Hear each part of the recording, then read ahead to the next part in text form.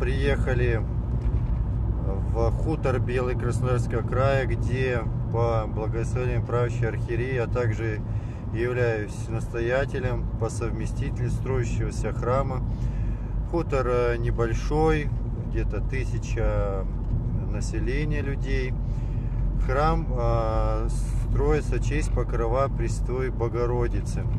Вообще нужно отметить, что храм в честь покрова или святителя Николая Чудотворца это самые распространенные храмы, которые начинались э, в первое время строиться. И сейчас, в принципе, очень тоже востребованный, э, востребованное название сейчас. Вот дальше, дальше, дальше. Вот э, сейчас секунду, вон там за магазином мы поворачиваемся. Но я сейчас покажу, как мы подъезжаем к храму, в котором мы будем сейчас совершать. Связь потерялась. он и не поворачивается, ничего не делает.